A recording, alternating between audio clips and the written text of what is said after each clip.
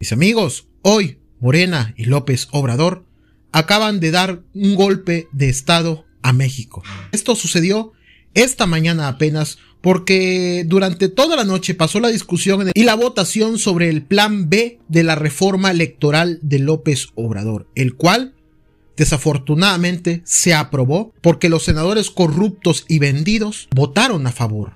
Antes de continuar te recuerdo darle me gusta a este video para que esta información llegue a más personas y se enteren de la realidad. Esto lo dijo esta mañana el senador Emilio Álvarez y Casa del Grupo Plural en la tribuna en el Senado de la República.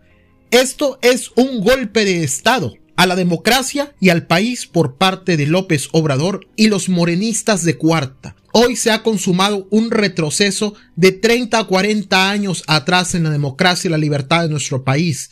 Este mal gobierno avanza y la oposición ¿Dónde está la oposición? ¿Dónde están los políticos a los que les pagamos el sueldo para defender a nuestra patria? Y aquí vamos a ver estas grandes palabras, este fuerte mensaje del senador Álvarez y Casa.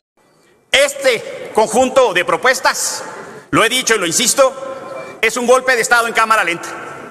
Y hay que decirlo con absoluta claridad. Es la derrota ética de un movimiento social que llega al poder por métodos democráticos y en él se corrompe y se traiciona.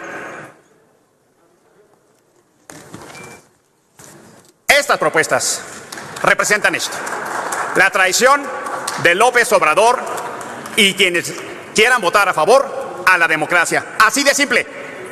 Hoy se define la inauguración formal de prosperar esta iniciativa del México autoritario que rechaza la transición a la democracia. Es triste lo que está sucediendo en nuestro país. Este gobierno se preocupa por destruir más a nuestro país y a la democracia. Hoy ya se aprobó el plan B de la reforma electoral.